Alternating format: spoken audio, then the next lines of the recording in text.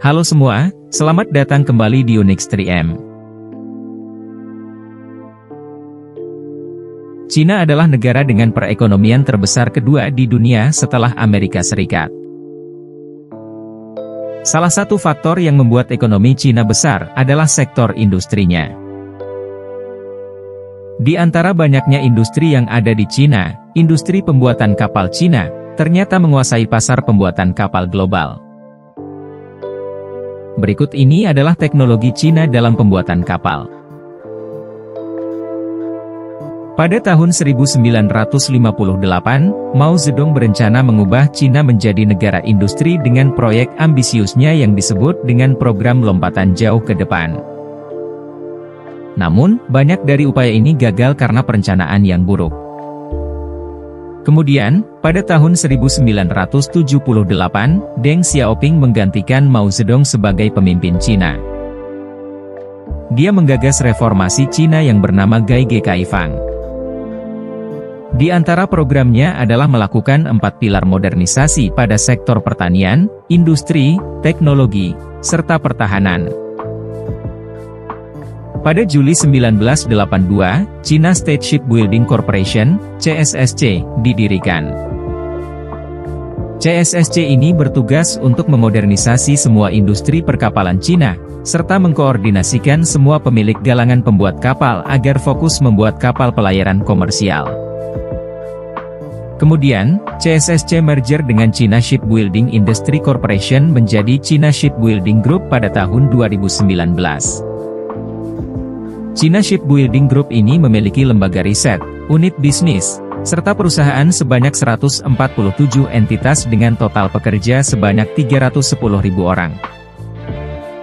Pada tahun 2020, China Shipbuilding Group menguasai pasar pembuatan kapal global hingga 40%, yang kemudian diikuti oleh pesaing terdekatnya, yakni Korea Selatan, dengan persentase sebanyak 31,5%. Sedangkan untuk total aset dari China Shipbuilding Group mencapai 1.600 triliun rupiah, sehingga menjadikannya sebagai perusahaan pembuat kapal yang terbesar di dunia. Salah satu anak perusahaan di bawah China Shipbuilding Group adalah Jiangnan Shipyard. Galangan kapal terbesar dan tertua di Cina ini didirikan pada tahun 1865. Galangan ini memiliki area dengan luas 10 km persegi, serta memiliki sekitar 20.000 pekerja untuk membuat kapal dengan ukuran yang sangat besar. Jiangnan Shipyard ini menggunakan metode baru yang lebih cepat dalam membangun sebuah kapal besar. Selain itu, mesin untuk membuat kapal pada tempat ini juga telah mengalami modernisasi. Sebagai contoh, alat pemotong plat besi baja untuk membangun kapal mereka menggunakan plasma cutting machine. Dengan mesin pemotong ini, mereka dapat memotong plat dengan sangat cepat, akurat, serta presisi.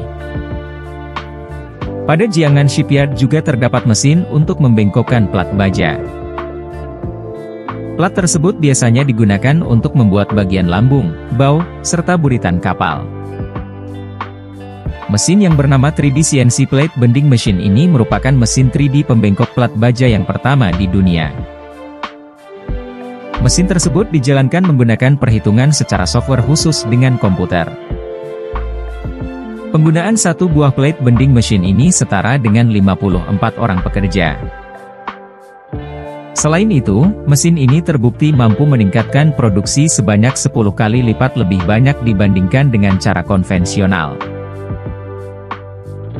Setelah plat baja dipotong dan dibengkokkan, plat akan masuk ke dalam proses pengelasan. Untuk mempercepat proses ini, mereka menggunakan submerged arc welding, SAW. Ketika proses pengelasan, mesin pengelas tidak akan menimbulkan percikan api. Hal ini bisa terjadi karena busur listrik terjadi di bawah rendaman pasir silika yang berfungsi sebagai flux. Penggunaan mesin ini juga terbukti dapat meningkatkan tingkat produktivitas hingga tiga kali lipat. Dengan kecanggihan alat pada Jiangnan Shipyard, beberapa waktu yang lalu galangan kapal ini memproduksi kapal kontainer yang terbesar di dunia. Kapal kontainer yang dibuat di Jiangnan Shipyard ini memiliki panjang 400 meter, lebarnya 62 meter, serta memiliki berat 220.000 ton dan berkapasitas 23.000 TEU. Kapal kontainer ini memiliki mesin dual fuel yang dapat ditenagai dengan LNG atau gas alam cair.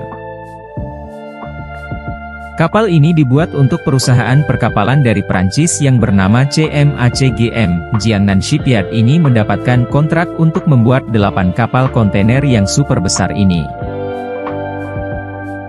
Meskipun kapal kontainer tersebut memiliki ukuran yang sangat besar, namun ternyata kapal ini hanya dikendalikan oleh 26 kru kapal saja. Hal ini dikarenakan sistem yang ada pada kapal sudah dilengkapi dengan sistem kontrol otomatis yang mana satu orang kru kapal dapat mengendalikan beberapa sistem sekaligus. Sedangkan untuk mesin yang digunakan pada kapal ini adalah dual fuel low speed engine WinGDX 92DF yang dibuat sendiri oleh Cina. Mesin ini terbukti mampu mengurangi emisi karbon hingga 20% dan sulfur oksida hingga 99%. Kapal kontainer yang dibuat ini memiliki tangki kargo yang bernama Mark III yang berguna untuk penyimpanan bahan bakar LNG berkapasitas 18.600 meter kubik. Di dalam tangki kargo tersebut, LNG akan dikonversi dalam bentuk cair dengan cara diberi suhu minus 163 derajat Celcius. Ketika dalam bentuk cair, volume LNG akan berkurang hingga 620 kali sehingga membuat tempat penyimpanan menjadi lebih efisien. Lalu, saat kapal kontainer berlayar, maka LNG dalam bentuk cair akan dipanaskan sehingga menjadi bentuk gas. Gas LNG itu kemudian akan masuk ke generator serta mesin kapal yang kemudian menggerakkan baling-baling kapal sehingga kapal dapat bergerak. Mesin WingGDX 92DF yang dipakai oleh kapal ini dikembangkan oleh Winterthur Gas Diesel yang merupakan anak cabang dari CSSC yang kemudian dibangun oleh Shanghai Mitsui Shipbuilding Diesel Engine. Mesin ini merupakan Marine Internal Combustion Engine yang terbesar di dunia dan ukurannya ini sama seperti luas lapangan basket. Mesin WingGDX 92DF memiliki tinggi 16 meter. Tingginya ini sama dengan tinggi bangunan 5 lantai. Sedangkan untuk beratnya adalah 2100 ton dan memiliki tenaga output sebesar 64.840 kW. Silinder piston pada mesin ini juga berukuran sangat besar, yaitu dengan diameter 1 meter, untuk panjangnya 4 meter, kemudian beratnya 5 ton. Silinder piston ini merupakan silinder piston mesin kapal yang terbesar di dunia. Tidak hanya itu saja, crankshaft pada mesin ini juga merupakan crankshaft mesin kapal yang terbesar di dunia. Crankshaft tersebut memiliki berat 488 ton serta memiliki panjang 24 meter. Selain itu, pembuatan mesin WingGD ini juga menghabiskan waktu yang tidak sedikit serta dikerjakan oleh 3.125 orang pekerja.